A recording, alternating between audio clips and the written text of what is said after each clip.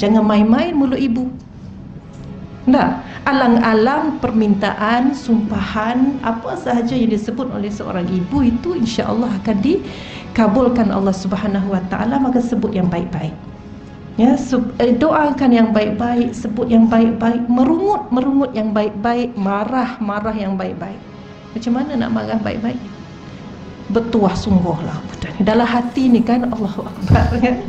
Ha, dia pun tanya mak kenapa mak dah jadi macam mak tiri? Ha. Anak saya saya su- suruh kemas beg. Kakak, beg sekolah letak mana? Mami, kenapa you macam mak tiri hari ni? Ha?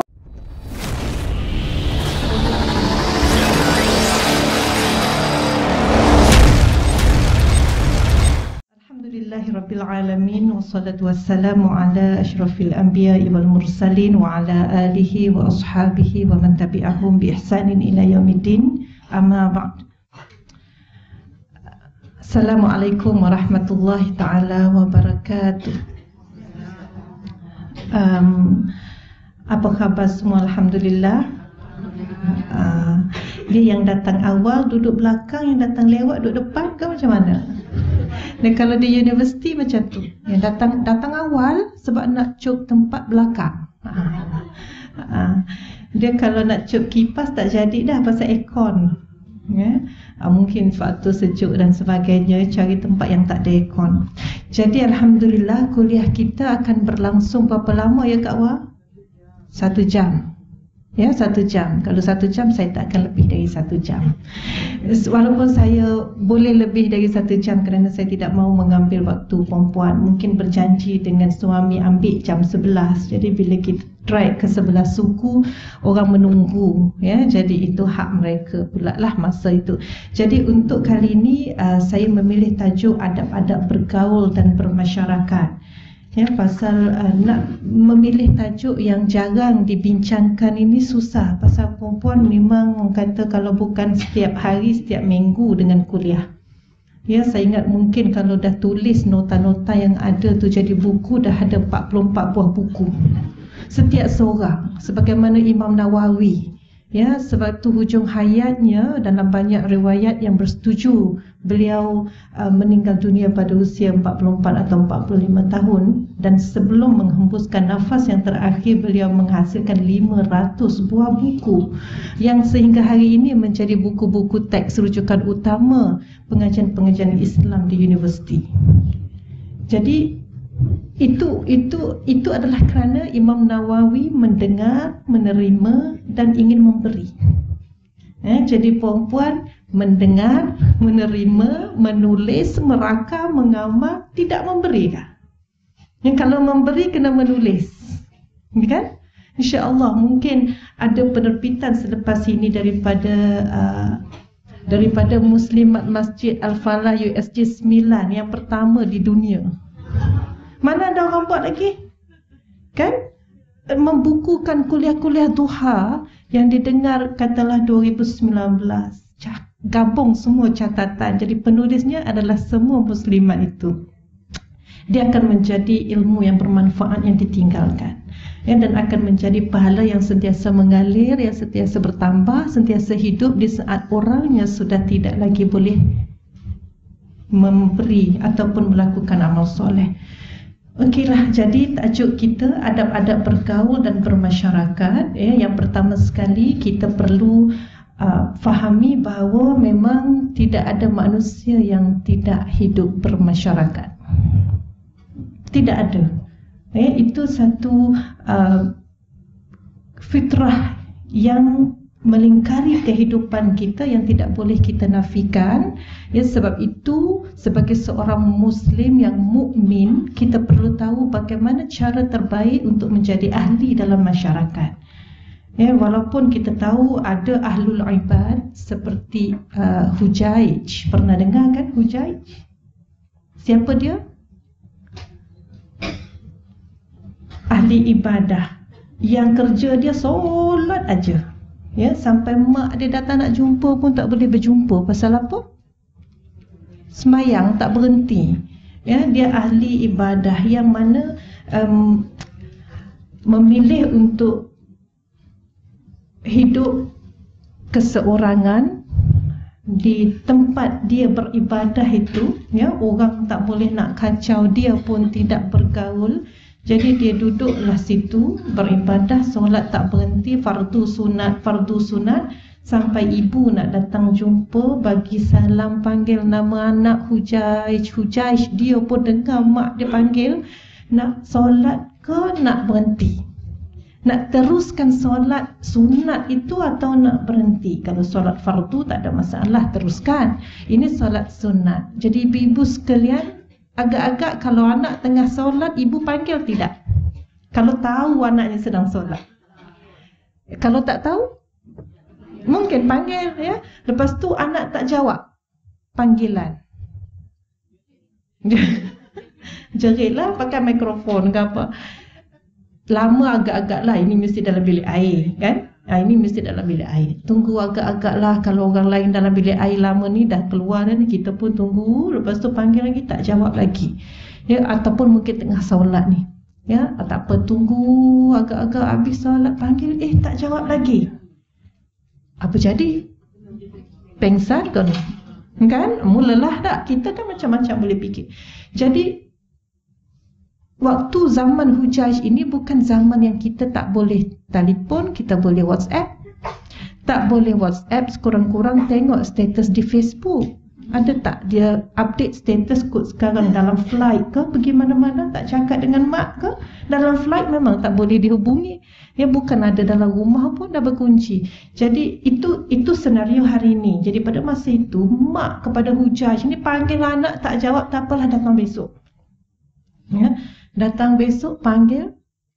Tak jawab juga Sebab tengah solat Dan Hujaish pun berfikir benda yang sama Nak teruskan solat atau nak berhenti? Mak tengah panggil Eh tak boleh Mana boleh berhenti solat? Teruskan solat. Ya, kemudian hari yang ketiga pun teruskan solat Sampai mak ada kecil hati dah ni. Ya, Kalau orang call Kalau ibu telefon Anak tengok ada miss call Return call ke tidak agak-agak? Kan nak tunggu tiga kali yang tak return terus lah return. Jadi ini tak return visit. Dia tak ada call, dia kena pergilah rumah mak. Apa jadi mak datang dua tiga kali eh? Jadi tak juga mak pun lah yang datang dan akhirnya panggil tak jawab juga maknya kata apa? Nak tanya orang sebelah tak ada orang berhubung dengan hujaj. Ya sebab dia tidak hidup bermasyarakat. Dia hanya berkhalwah dengan Allah Subhanahu Wa Taala. Jadi mak kecil hati mak kata Hujaj tidak akan mati selagi tidak bertemu seorang pelacur. Sebab tidak mahu temui seorang ibu. Siapa lagi yang anak ni nak jumpa? Ah, jumpalah dengan pelacur. Agak-agak jumpa tidak? Um, kalau ada yang jawab tak, ada yang jawab jumpa maknanya jarang dengar cerita ni lah ni. Ya, kalau dah biasa dengar dia dah tahu jawapannya ya. Nak dengar tak? Ah, okey kita sambung sikit lagi.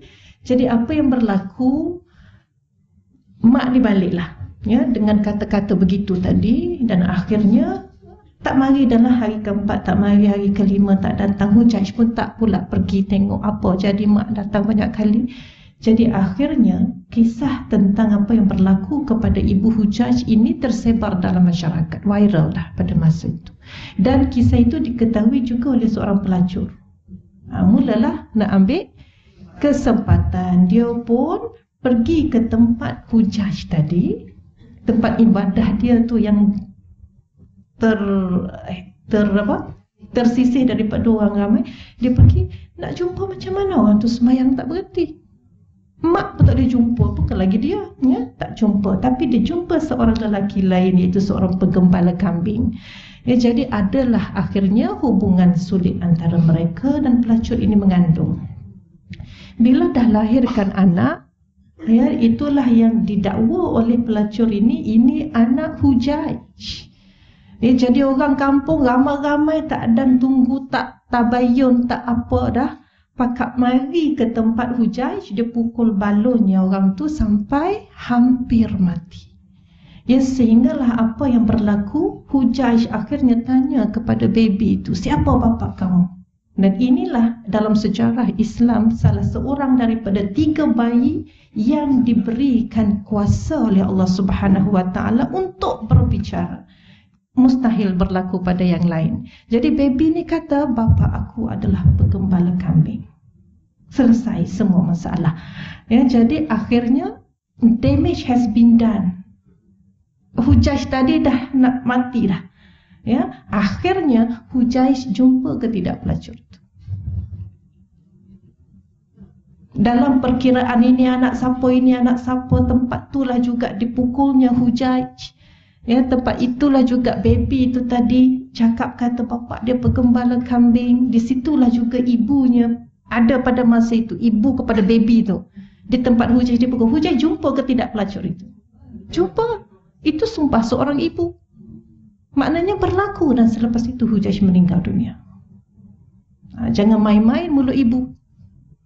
Tak alang-alang permintaan, sumpahan, apa sahaja yang disebut oleh seorang ibu itu insya-Allah akan dikabulkan Allah Subhanahu Wa Taala maka sebut yang baik-baik.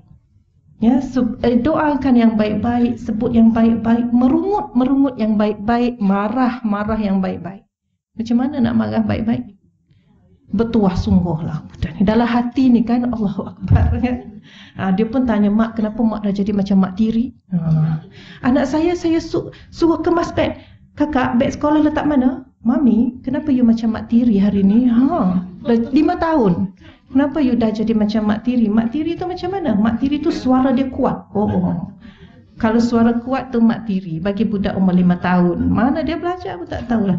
Tapi balik kepada apa yang saya nak sebutkan di sini ialah adab-adab bergaul dan bermasyarakat bukan menjadi penghalang untuk kita beribadah. Bukan menjadi penghalang untuk kita beramal soleh. Maka jadikan apa saja yang kita buat dalam masyarakat itu sebagai sebahagian daripada ibadah dan juga amal soleh kita kepada Allah Subhanahu Wa Taala. Jadi cerita Hujaj tadi sebenarnya baik untuk dicontohi atau tidak? Baik dari sudut berkhalwat dengan Allah Subhanahu wa taala tak membawang dengan orang tak kisah orang tu uh, apa nama buat apa ya tak kisah langsung tu macam tak boleh juga ya. Orang susah kita kena ambil tahu jiran sakit ada haknya untuk diziarahi oleh kita. Maka tanggungjawab kita ziarah jiran. Ya jadi dalam hujah tadi soal ibadah itu alhamdulillah sangat baik. Tapi soal ilmu sebelum amal itu lebih utama. Macam mana ilmu sebelum amal? Kita kena tahu bila kita solat fardu bila ibu panggil tak boleh jawab itu ilmu maka bila kita solat ibu panggil jangan jawab sebab kita dah tahu ilmunya tapi kalau solat sunat ibu panggil wajib berhenti dan jawab itu ilmu. Tapi kalau tak ada ilmu tu kita kata takkanlah mak panggil sampai nak kena berhenti solat. Lepas ini boleh lah. Tanya mak nak apa? Ya habiskanlah solat. Eh dah kaya akhir dah kot. Ha.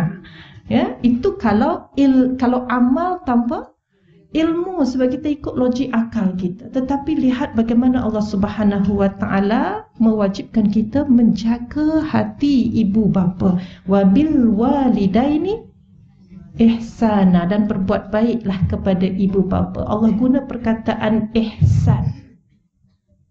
Wabil walidaini ihsana. Ihsan ini apa saja kita buat biar sempurna, bukan baik, bukan bukan cemerlang, bukan memuaskan, tidak sempurna. Macam mana kita level manusia nak sempurna? Kita contohi bagaimana Khadijah menyempurnakan diri sebagai isteri bagaimana Khadijah menyempurnakan diri sebagai hamba Allah. Habis semua harta dia sedekah, tak ada apa pun tinggal sebelum mati yang ada hanya tulang rusuknya nanti sedekahkan untuk dijadikan senjata perang. Tulang rusuk ni kalau boleh ambil-ambil jadikan senjata perang. Ehsan bersedekah. Kita tak sampai begitu. Siapa nak bagi tulang rusuk angkat tangan? Tak payah rusuklah tulang belikat. Eh tak ada ya. Rusuk ah tulang apa lagi ada? Tulang jari kelingking sikit ada nak bagi? Tak pasti. Ke macam mana? Tak ada? Nak bagi benda lain, tak nak bagi tulang-tulang sebab ada lagi yang tinggal ni selain tulang ni ada lagi dalam tabung haji ada lagi dalam Islam ada lagi. Ya, jadi itulah beza kita dengan ibunda Khadijah. Bagaimana ihsan Khadijah bersedekah tidak sama dengan bagaimana baiknya kita bersedekah. Kita setakat baiklah setakat memuaskan setakat cemerlang. Mungkin ada gemilang terbilang tapi tidak ihsan tetapi Allah suruh kita buat baik dengan ibu bapa sehingga ihsan.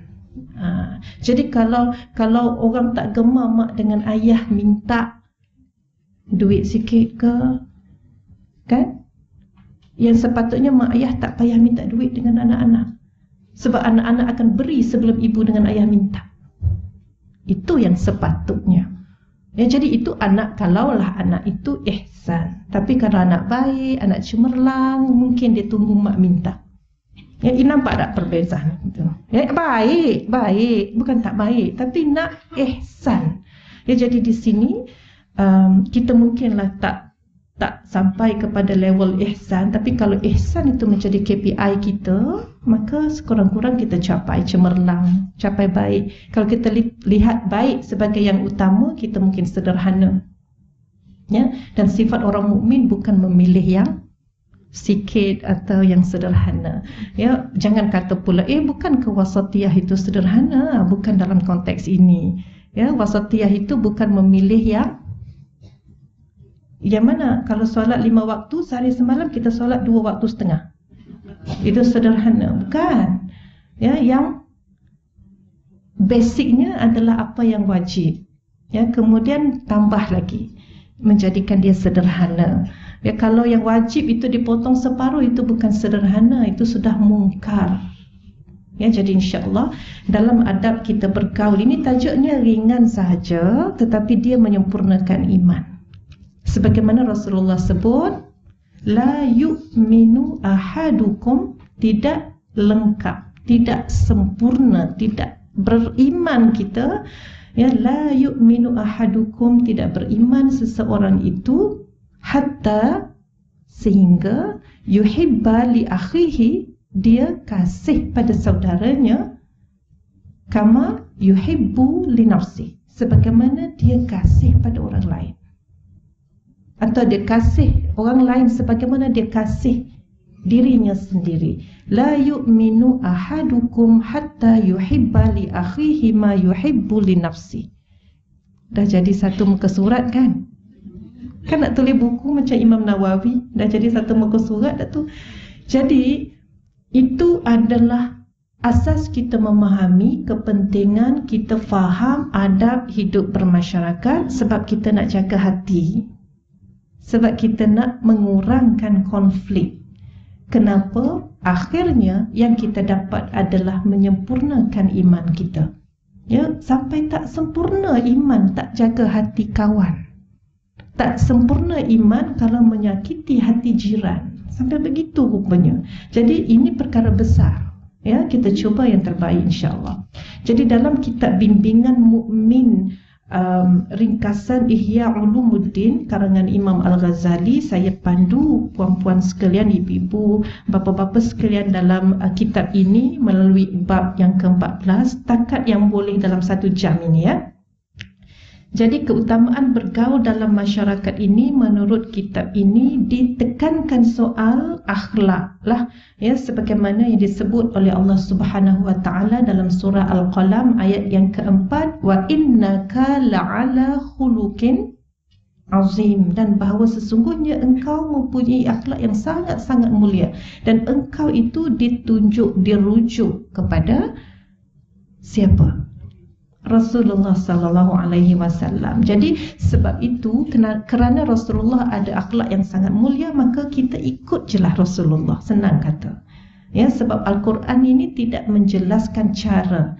Cara dijelaskan melalui perbuatan, perkataan dan diamnya Rasulullah sallallahu alaihi wasallam. Quran suruh solat tapi tak cakap Zuhur berapa rakaat? Asar berapa rakaat? Macam mana nak niat solat subuh? Quran tak sebut. Jadi kita kalau baca Quran saja, kita cuma oh Islam kena buat ni. Oh inilah Islam, oh inilah iman. Tapi macam mana ya? Datanglah Rasulullah sallallahu alaihi wasallam memandu kita mengajar kalau nak solat sallu kama raaitumuni usalli. Solat sebagaimana cara aku solat. Jadi kita ikut Nabi, kita tak nak ikut yang lain. Ya, jadi apa yang dibawa oleh Rasulullah itu kita jangan ragu sebab Allah kata Rasulullah itu sudah membawa akhlak yang agung, akhlak yang besar. Maknanya janganlah betul kau yang Nabi buat ni. Kita ni duk pakai ikut ni betul ke? Kalau kita meragui itu bermakna kita meragui Allah Subhanahu wa taala. Jadi jangan fikir lagi dah. Ya, asalkan ianya datang daripada Rasulullah maka itulah yang yang tepat insya-Allah. Jadi um, tentang akhlak ini juga ditekankan oleh Rasulullah sallallahu alaihi wasallam di mana baginda sebut dalam sebuah hadis yang diriwayatkan oleh At-Tirmizi dan Al-Hakim kata Rasulullah aktsaru ma yudkhilun nasal jannata taqwallahi wa husnul khuluq sebahagian besar yang menyebabkan manusia itu masuk syurga sebahagian besar yang menjadikan manusia itu masuk syurga ialah bertakwa kepada Allah dan budi pekerti yang baik. Kalau sebahagian besar dalam perkiraan akademik, dia mesti bersifat majority. Maknanya kalau daripada 100, sebahagian besar menjadi berapa persen? Kalau 50, adakah dia sebahagian besar? Tidak. Kalau 60, dah boleh dah tu. 60 pun dah dikira sebahagian besar. Yang lagi satu, 40 kan? 40 dah boleh jadi sebahagian kecil. Tapi daripada 60 sampailah 100 dia boleh jadi sebahagian besar. Maknanya kalau mengikut rukun kiraan biasa, 60% nak masuk syurga datangnya dari takwa dan akhlak. Dan timbul persoalan macam mana pula takwa ni? Ya, apa takwa macam mana nak bertakwa? Tidak menyakiti hati sesama manusia itu melambangkan seseorang itu ada sifat takwa. Saya pernah ceritakan tentang kisah um, Abu Bakar As-Siddiq dan Umar Al-Khattab tentang sifat takwa. Ya, banyak lagi sifat takwa daripada Ali bin Abi Talib, daripada sahabat-sahabat Rasulullah, daripada Aisyah, daripada Khadijah, daripada Saudah, daripada Mariatul Qibtiyah dan sebagainya. Jadi bila saya bagi contoh Umar dan um, Abu Bakar, jangan kata saya bias pada Umar dan Abu Bakar. Ya, ya sebab banyak sangat contoh. Jadi contoh macam mana sifat takwa Abu Bakar As-Siddiq? Ada yang masih ingat? Kalau kalau ada ibu-ibu perempuan yang sedang menulis buku daripada nota kuliah lepas dia ingat lah ya tapi sebab banyak sangat mendengarnya mungkin kan oh, dah macam-macam dengar dah tak ingat. Jadi sifat uh, uh, contoh sifat takwa Abu Bakar As-Siddiq ya. Selain daripada dia selalu melihat sesuatu dan dibandingkan dengan diri dia. Dia tengok rumput, dia boleh bandingkan dengan diri dia. Rumput Untungnya jadi rumput kata dia. Dirangkut oleh binatang ternakan Lepas itu Habislah. Habislah hayat hidupnya. Ya? Dipertimbangkan mana baik Mana buruknya rumput itu Habislah. Sama ada masuk syurga atau neraka. Batu pun masuk syurga Masuk neraka kan? Batu yang masuk neraka menjadi bahan bakar dalam neraka. Batu yang masuk syurga menjadi sebahagian daripada hidupan dalam syurga. Jadi batu pun tak nak masuk neraka. Ingat batu giling yang berkhidmat kepada Fatimah? Yang Fatimah minta seorang hamba dari Nabi selepas perang Nabi tak bagi. Sebab Nabi takut menjadi fitnah, Nabi tak bagi. Dan batu giling tu kata, kalaulah ada hamba, masihkah dia boleh berkhidmat kepada Fatimah? Sedang dia nak masuk syurga. Batu tu risau tak boleh masuk syurga. Itu cerita batu. Cerita apa sebenarnya kita ni? Ah. Lupa lah. Eh, jadi oh, Ali ah, Abu Bakar tadi bila tengok rumput dia kata habis kita aja rumput aku ni nak kena soal macam-macam. Dia tengok pula um, pokok-pokok. Dia kata batang pokok ni nanti akan jadi bahan bakar. Orang tebang jadi kayu api. Lepas tu habis dah begitu hidupnya. Buat aja kebaikan pada manusia. Tapi aku, ah, dia fikir. Ini sifat orang takwa. Ya, Jadi begitu juga bila buat satu kesalahan atau dosa sama ada secara sengaja atau tak sengaja. Macam mana kita buat dosa secara tak sengaja? Kita cakap sesuatu, tak ada niat menyakiti sesiapa, ada orang terasa. Itu tak sengaja. Kenapa orang tu terasa? Ada 20 orang, seorang terasa, 19 tak terasa. Seorang tu tadi, adakah dia salah kerana terasa? Tidak, kerana hati tisu dia tu. Dan disebabkan dia ada hati tisu, maka kita yang berbicara tak boleh berbicara level menyakiti orang yang ada hati tisu. Aduh ya Allah. Baik tak saya cakap. Ya, duduk je diam-diam. Ya. Tapi itulah ihsannya manusia kalau ingin mengikut nasihat Allah dan Rasul. Ya, eh orang ni, ni jenis terasa ni. Dia jangan sampai macam gini. Aku nak cakap biar orang ni terasa. Ada tak macam tu? Allahu Akbar ya. Eh, aku nampak macam tak terasa lagi ni. Ya. Hati kering orang panggil. Orang tu sindir macam-macam tak rasa orang ni sindir macam-macam tak rasa hak ni cakap ni cakap. Sampai kan ada yang paling yang kapten lah, kapten, kapten bawang ni. Dia kata, mari aku test power, kata dia. Dia pun buat, ah, tak terasa juga. Ya, tapi niat untuk menyebabkan orang kecil hati ni tak sepatutnya ada dalam diri orang yang ihsan. Ya, inilah yang yang di yang di, dibawa contohnya oleh Abu Bakar As-Siddiq. Abu Bakar dapat satu bidang tanah hadiah daripada Rasulullah dan juga seorang sahabat uh, Rabi'ah Al-Aslami pun dapat sebidang tanah hadiah daripada Nabi. Dia berjiran tanahnya, sempadan antara Abu Bakar dan Rabi'ah. Dan suatu hari mungkin dalam soal mana sempadan kita ni, eh, pokok nak tanam kat belah mana begini, Rabi'ah datang jumpa Abu Bakar dan apa yang disebut oleh Abu Bakar dalam perbincangan itu menyebabkan Rabi'ah kecil hati. Jadi apa yang Rabi'ah sebut kepada Abu Bakar ialah Engkau telah menyakitiku wahai Abu Bakar dengan satu perkataan tadi. Jadi Abu Bakar terkejut sebab dia tak sebut apa-apa pun secara normal.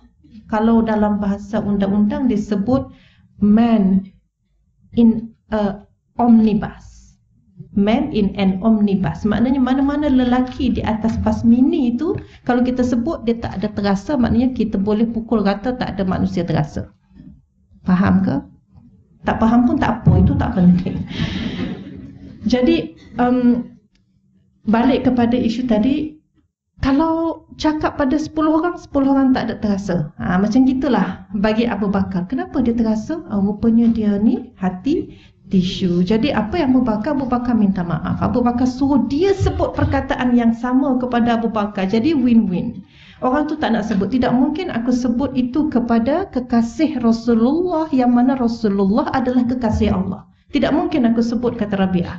Tapi Abu Bakar kata kalau tak sebut macam mana nak settle masalah ni?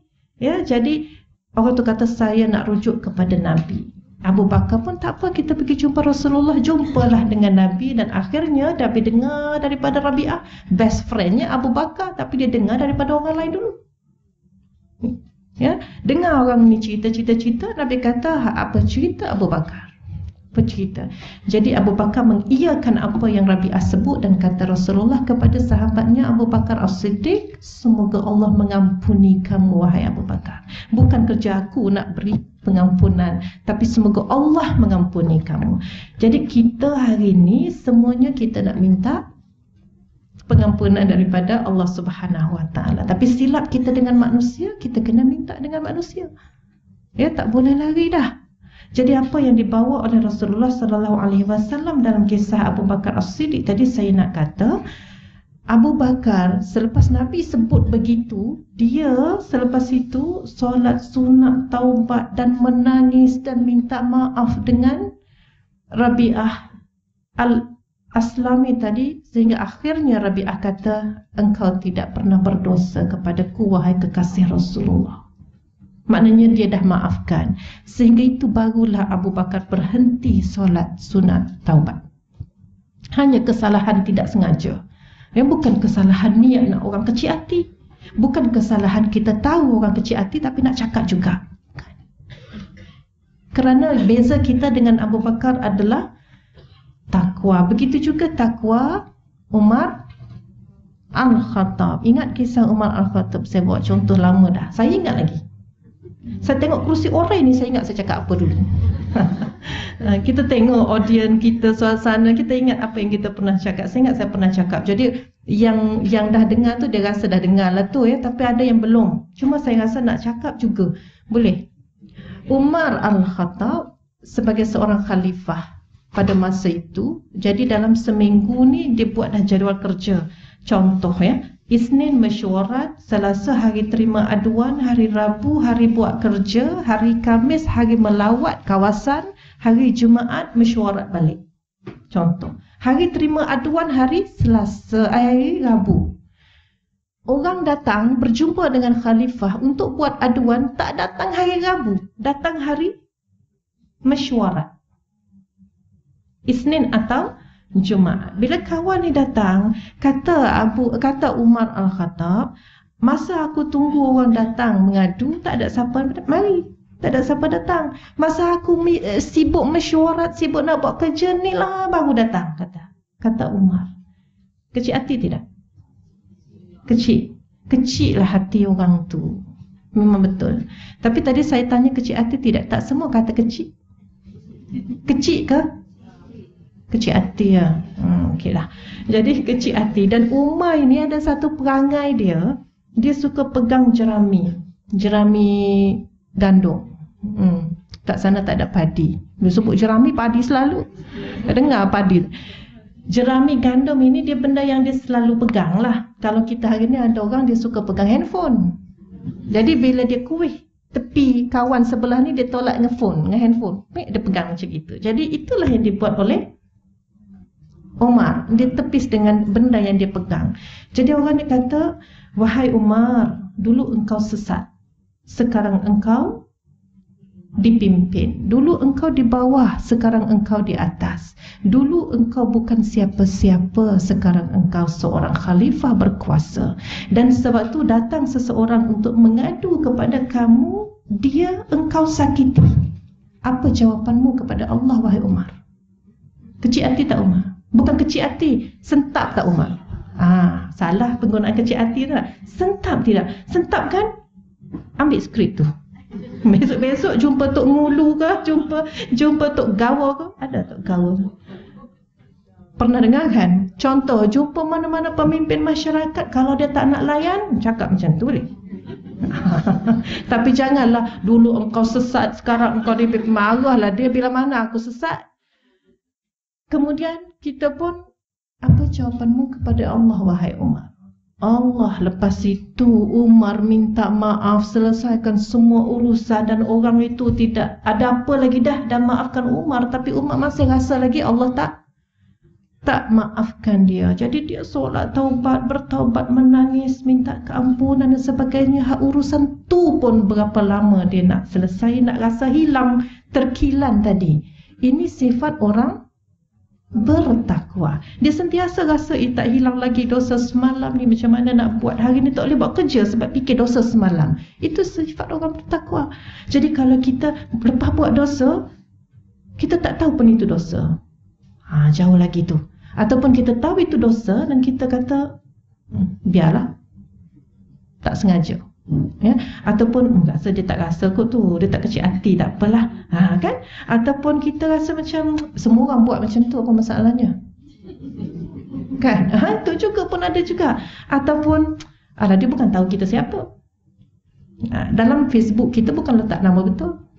Suka hati kita lah nak tulis apa? Contoh ya? Memang tidak ada yang tahu tapi Allah tahu. Jadi sifat orang bertakwa ni tidak akan berselindung ya melainkan dia tidak beriman sebab dia nak berselindung daripada Allah dia tidak akan dapat berselindung ya jadi itulah asas kepada kehidupan kita dalam hidup bermasyarakat ini sifat takwa dan takwa itu memandu kita untuk berakhlak baik.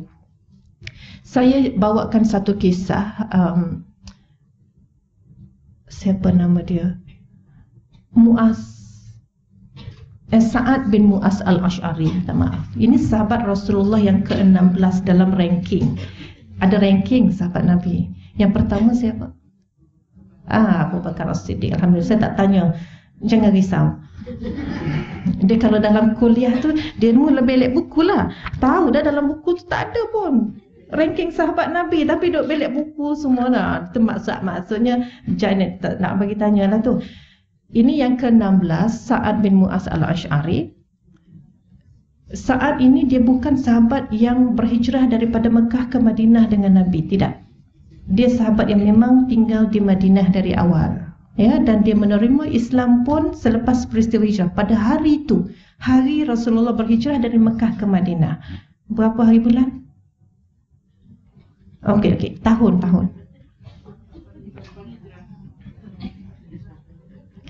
tahun Nabi berhijrah dari Mekah ke Madinah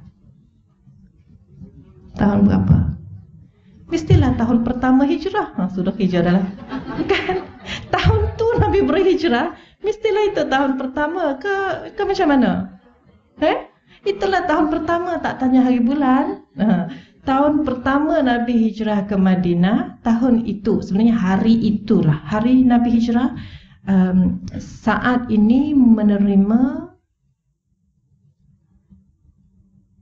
uh, hidayah eh, daripada Allah Subhanahu Wa Taala. Jadilah seorang mukmin. Dan antara benda basic yang uh, saat belajar daripada Rasulullah ini adalah tentang iman.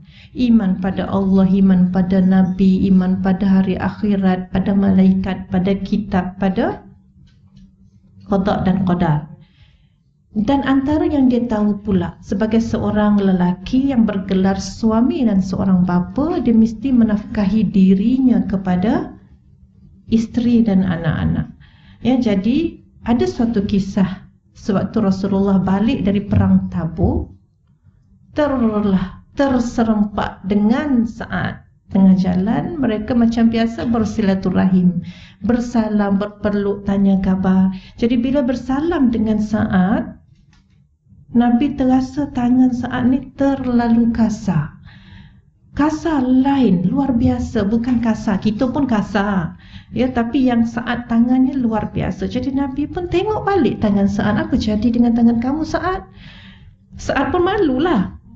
Ya tapi nabi tarik nabi tengok kenapa? Dia kata eh, wahai rasulullah tangan ini melepuh kerana mencari rezeki yang halal menyangkul tanah untuk mencari rezeki yang halal untuk anak dan isteriku jadi Rasulullah tengok muka Sa'ad, Rasulullah tarik balik tangan Sa'ad, Rasulullah kata, wahai Sa'ad, tangan ini tidak akan disentuh api neraka.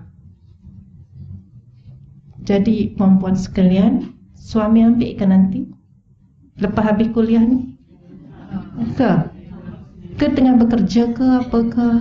Tak apalah, tak kisahlah. Lepas habis ceramah ni jumpa suami kalau masih ada, kalau yang belum kahwin jangan jumpa suami orang lain, tak payah.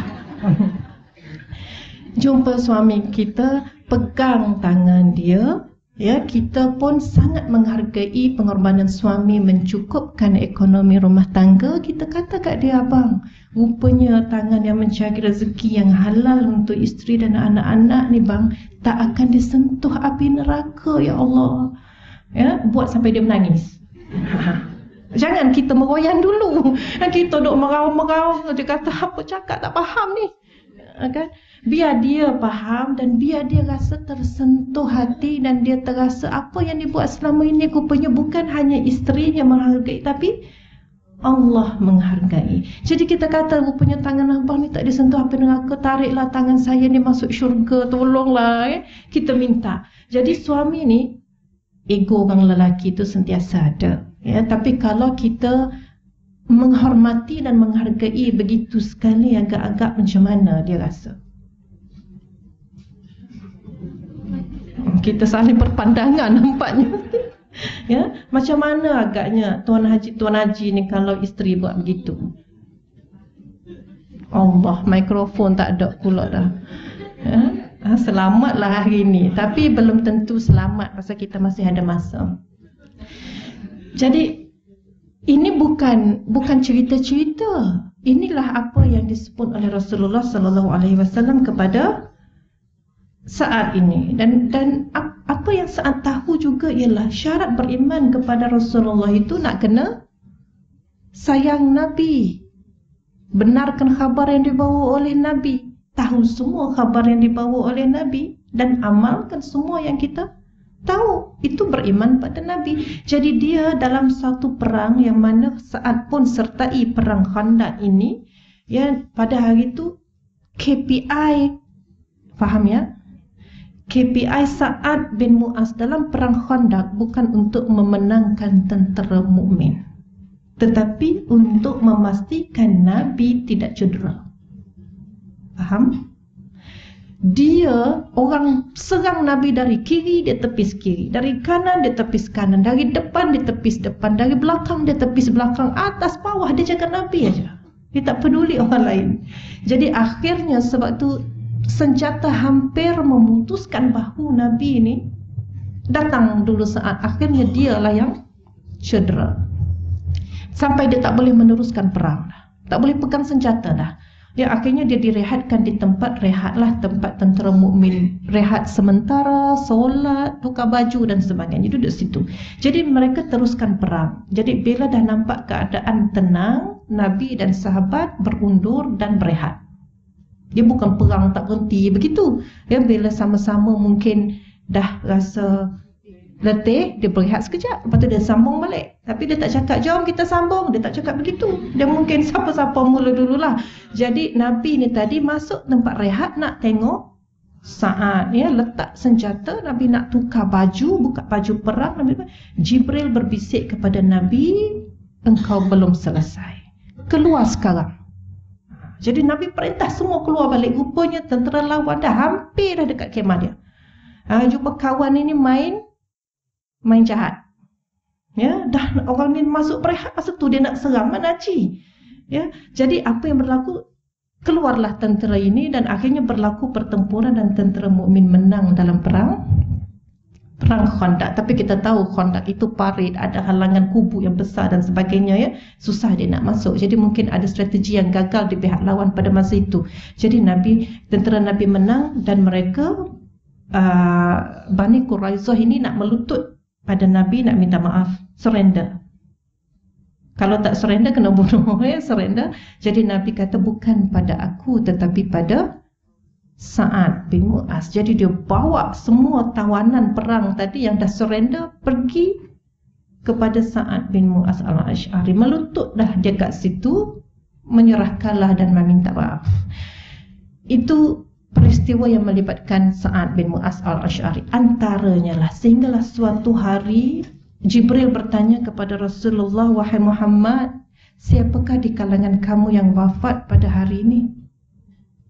Nabi kata tidak ada yang lain melainkan Sa'ad bin Mu'az al-Ash'ari. Kata Jibril, siapakah dia? Sehingga di saat dia kembali pada Tuhannya, seluruh pintu langit terbuka dan bergegar arash menerimanya. Siapakah dia? Sa'ad bin Mu'az al-Ash'ari. Dan sewaktu mendengar khabar Sa'ad meninggal, Nabi ini bergegas keluar daripada rumah dia nak pergi ke rumah Sa'ad ni. Nabi terlanggar seorang sahabat sampai putus lipa orang tu. Dan Nabi tak tanya pun, eh okey ke, okey ke? Itu akhlak Rasulullah. Ya, betulkan balik ke, ganti balik, minta maaf. Itu akhlak Rasulullah. Tapi tak, dia tinggal je. Lepas itu dengan kain serban hak biasa rapi itu tak. Dia pakai letak, dia berlari dah memang terbang-terbang serban. Kata Sa'ad bin Abi Waqqas, Ya Rasulullah, apalah yang mengejarmu sehingga engkau mengabaikan kami? Kata Sa'ad bin Abi Waqqas.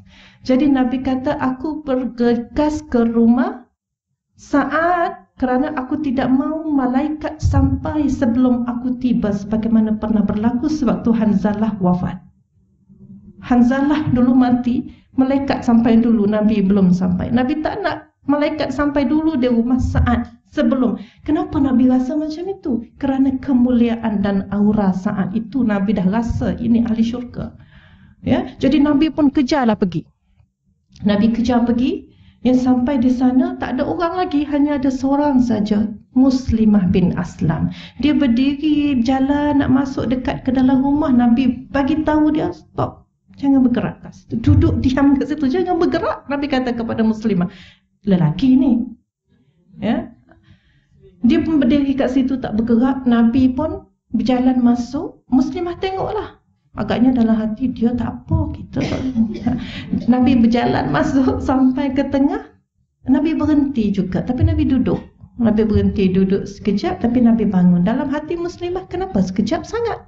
Ya, jadi bila Nabi keluar muslimah datanglah jumpa Nabi. Nabi kata, "Mujur aku diberikan tempat kerana salah satu malaikat mengangkat sayapnya membenarkan aku bersimpuh seketika."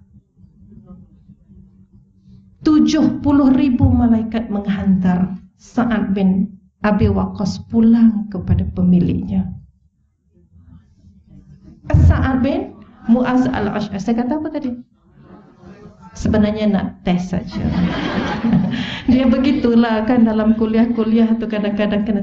Jadi inilah yang disebut oleh Imam Malik.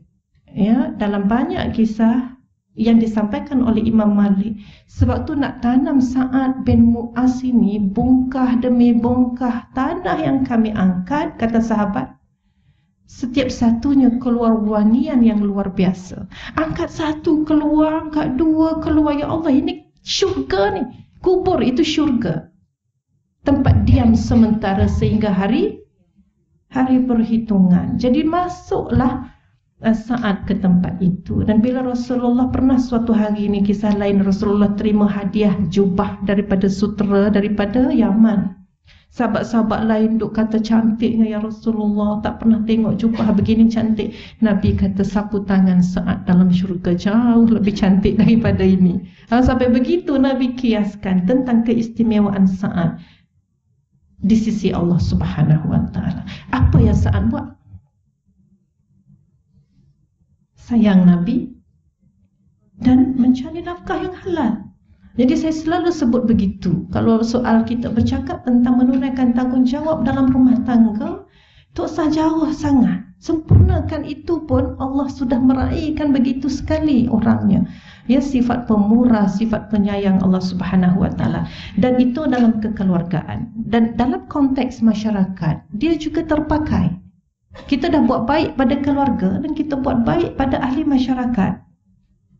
Menyempurnakan iman kita, Mudah-mudahan seluruh tubuh ini haram untuk api neraka dan mudah-mudahan kubur itu adalah sebahagian daripada penjuru syurga untuk kita diami sementara insya-Allah. Jadi sebab itu sangat penting untuk kita mempunyai pekerti yang baik, akhlak yang baik, bukan setakat kita tapi bagaimana kita mengasuh anak-anak dan memperingatkan suami. Kadang-kadang tengok dia punya WhatsApp group tu sekali-sekala. Bukan nak nak pretend ini kita ni kita jawab ni. Nanti orang ingat suami kita jawab pada kita yang jawab. Ha, macam tak tahu ada orang buat macam tu. Tengok ha, macam mana siapa sahabat-sahabat kawan suami kita ni. Siapa lingkungan-lingkungan mereka yang berbual dengan suami kita ni? Apa khabar-khabar isu-isu yang dibincang? Apa gambar-gambar yang dikongsi? Kalau esok keluar pagi-pagi, keluar gambar nurse lah, tengah hari keluar gambar cikgu sekolah cantik lah. Ini bukan, ini bukan, apa nama? Bukan bi'ah, bukan suasana kehidupan dunia ahli syurga. Kita remind gitu. Bila dia buat sesuatu yang kita rasa ini perlu peringatan. Tapi bila buat baik, balik rumah beli ikan bawal, beli Allah tangan abang ni haram api neraka kan. Ha. Sekali-sekala kita kata begitu lah. Agak-agak macam mana tak salah kan? Ah insya-Allah tapi ini dalam konteks kita nak membina akhlak mulia dan pekerti mulia kita nak bina bukan saja dalam keluarga tapi dalam masyarakat tapi konteksnya samalah ya kemudian um, disebut dalam surah Ali Imran ayat yang ke-103 Allah Subhanahu wa taala kata fa asbahtum bi ni'matihi ikhwana maka jadilah kamu dengan nikmat Allah itu orang-orang Islam yang bersaudara. Jadi bayangkan kalau kita sesama kita yang yang duduk sebelah-sebelah kita ini mungkin jiran tetangga, mungkin adalah hubungan kekerabatannya ataupun mungkin tak kenal pun dah itu tempat kosong duduk situ ni lah baru kenal. Tapi kita sayang dia sebagaimana kita sayang diri sendiri. Kalau itulah yang berlaku dalam kehidupan kita, kita tak payah ada polis, tak payah ada peguam, tak payah ada mahkamah, tak payah ada rela di masjid, tak payah ada penguat kuasa, tak payah hisbah-hisbah penguat kuasa ni semua tak payah. Baik di pasar nak cek timbangan, baik di jalan raya nak cek speed level kereta kita bawa, di mana-mana tak payah ada. Kalau sekiranya kita menjaga persaudaraan, kenapa tak boleh bawa laju di jalan raya? Takut langgar orang. Kenapa tak boleh ke langgar orang? Eh, kita nak ke orang langgar kita? Tak nak kan? Ah, orang pun tak nak juga kena langgar. Jadi kita, kerana persaudaraan itu, semua kita jaga. Ya, kita kena ingat di jalan raya pegang aja steering kereta. Apa maknanya? Kita adalah potential murderer. Kita adalah berpotensi untuk menjadi seorang pembunuh. Nauzubillahi min zalik. Macam mana boleh jadi? Perempuan ada masa cubalah pergi buat lawatan ke penjara. Dah pergi dah. Oh, janganlah. Masjid tu bagus, bagus. Bukan jangan, bagus. Ya, tapi kalaulah sekali-sekala pergi uh, bersilaturahim di penjara, tanya khabar kenapa duduk kat sini, dia pun kata saya tersalah langgar orang naik motor.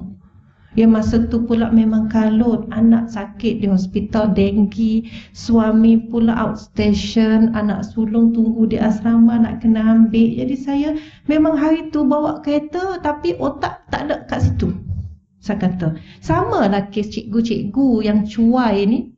Cikgu cuai macam mana bawa anak nak hantar ke nursery terlupa. Terus pergi sekolah. Pasal dah lewat ni kelas pukul 8 misal kata dah. Sampai-sampai di sekolah dah nak buat apa lagi? Bukan nak masuk bilik guru, bukan nak masuk kelas terus. Dalam kepala ni aku nak mengajar tak prepare pula tu semalam. Misal kata kan lagi rushing nak pergi ke kelas. Anak dalam kereta tidur. Sedar-sedar? Pukul Pukul dua nak balik rumah tu. Apa dalam kereta ni? La ilaha illallah inna lillahi wa inna ilaihi rajiun. Tapi itu satu kesalahan jenayah. Siapa yang salah? Ibu sudah pun menghadapi satu sabitan kesalahan jenayah, kecuaian. Dia sengaja tak nak bunuh anak dia. Tapi kenapa terjadi? Kenapa cuai? dia jadi berkait dengan isu lain tak? Pasal apa cuai? Pasal fikir benda lain. Pasal apa fikir benda lain? Pasal banyak benda nak kena buat. Pasal apa banyak benda kena buat? Pasal semua benda saya buat seorang. Pasal apa buat seorang? Ha, dia jadi berkait nampak tak? Bila ber, ha, jadi beletir lah pula. Pasal apa buat seorang? Pasal suami saya tak buat. Pasal apa suami tak buat? Ha, kan suami outstation. Pasal apa suami outstation?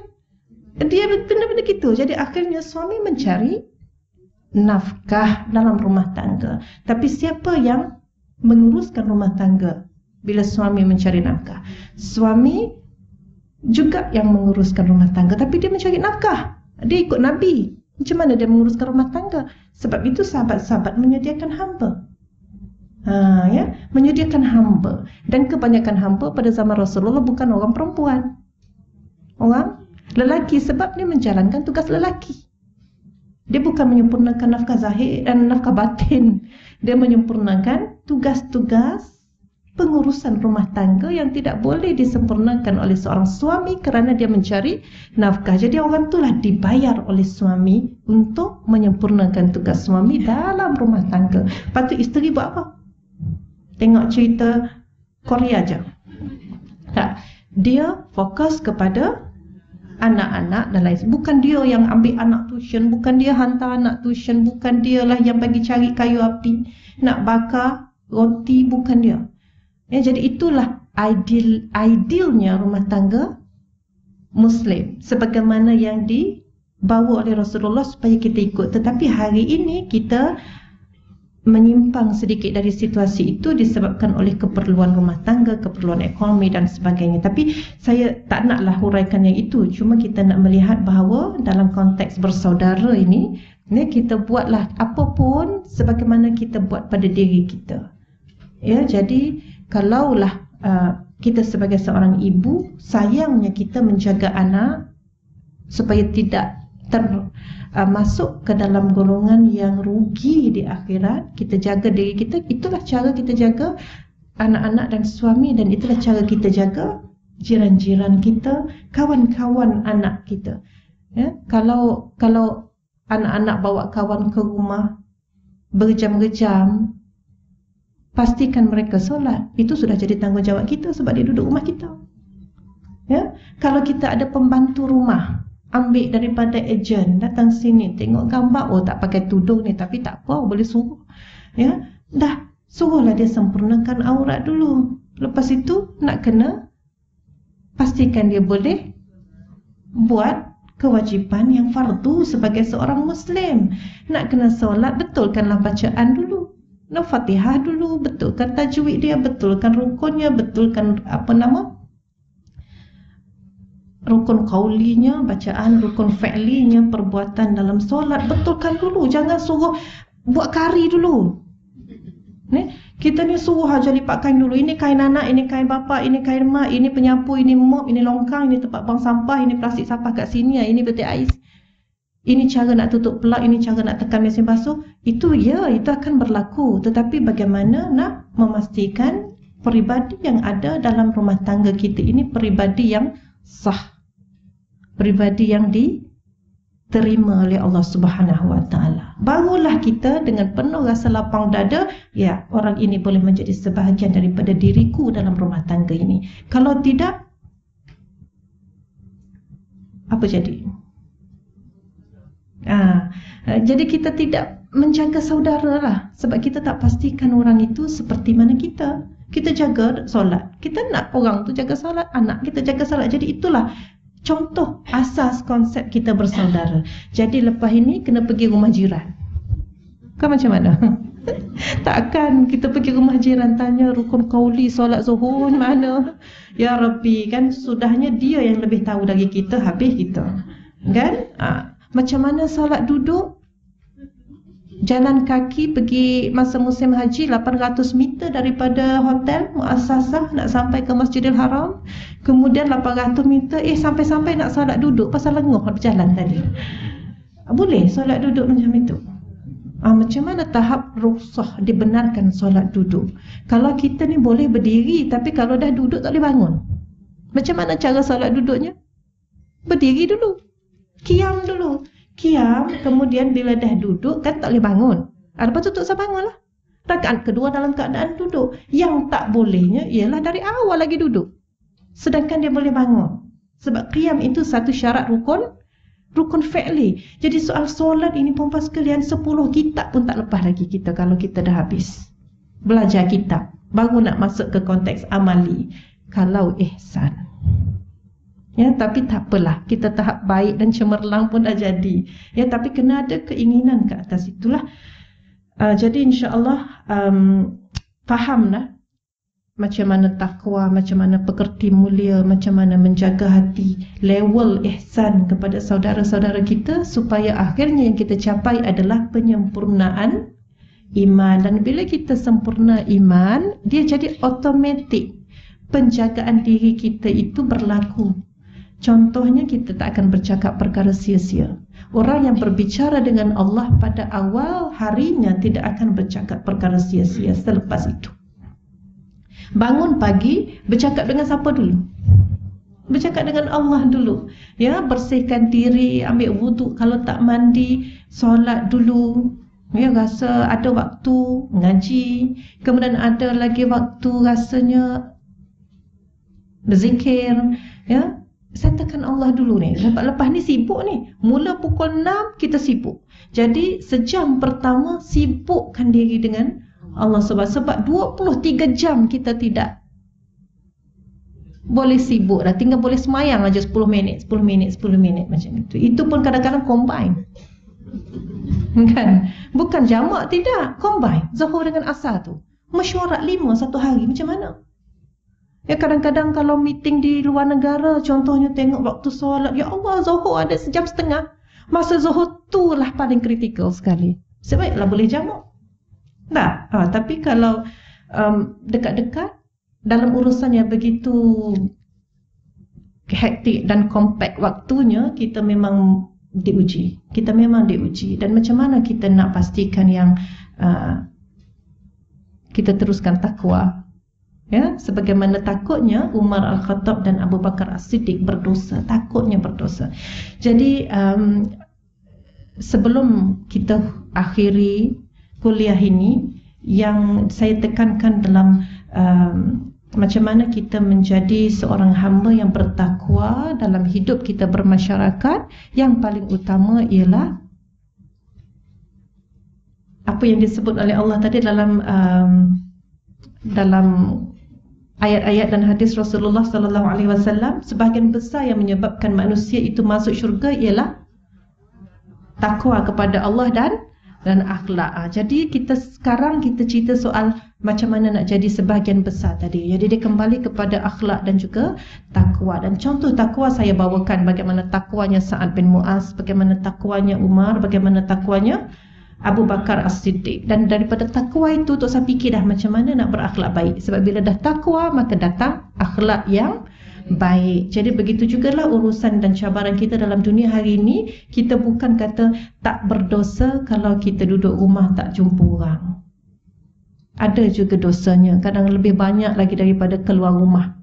Sebab duduk dalam rumah tapi dunia kita tiada sempadan. Disebabkan oleh ini ya.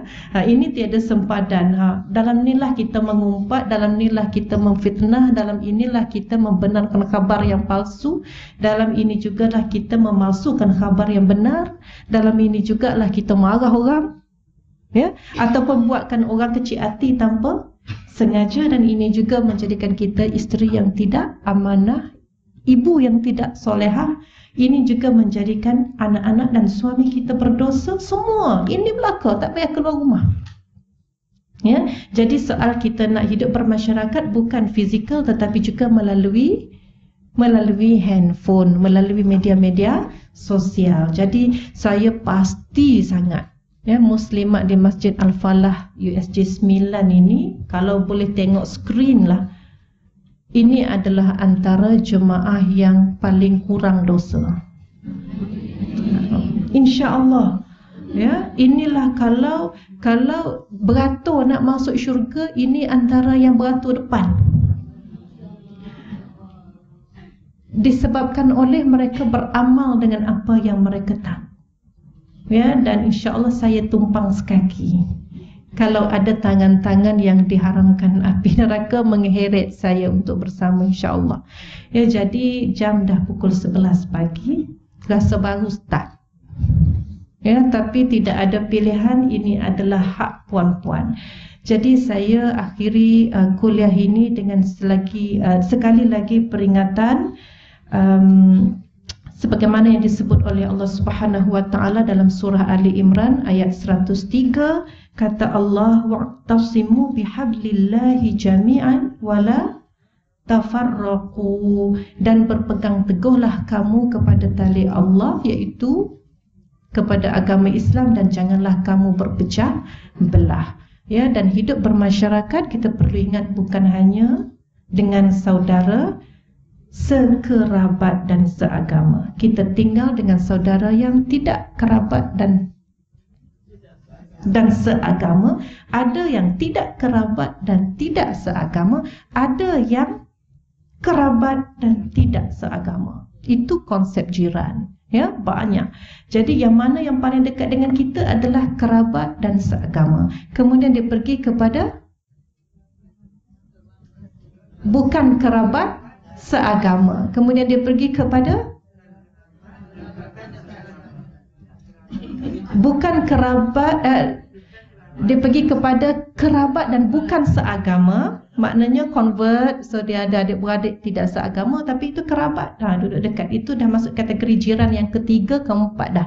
Ya kemudian yang terakhir yang tidak kerabat dan tidak seagama tapi mereka juga adalah jiran dan ahli masyarakat yang kita wajib jaga hatinya iaitu satu cabaran dalam dunia hari ini sebab ramai orang hari ini dulu tak garang sekarang garang ya uh, dulu dia lemah lembut sekarang dia kasar. Dulu dia kasar, sekarang lemah lembut. Macam-macam. Apapun itu semua menjadi sebab untuk kita mudah-mudahan ke syurga insya-Allah. Jadi sekali lagi kita mohon ke hadrat Allah Subhanahu wa taala supaya dipermudahkan urusan kita. Kita minta Allahumma sallimna bil iman. Allahumma sallimna bil iman wa amitna bil iman wa hsyurna bil iman wa adkhilna jannata ma'al iman Allahumma sallimna wa sallim dinana wa sallim imanana wa sallim tauhidana wa sallim arwahana wa sallim arzaqana wa sallim ajsadana wa sallim aba'ana wa sallim ummahatana wa sallim ikhwanana minal muslimina wal muslimat wal mu'minina wal mu'minat wal mudarrisina wal mudarrisat wal muallimina wal muallimat al ahya'i minhum wal amwat. Amin ya rabbal alamin insyaallah. Assalamualaikum warahmatullahi taala wabarakatuh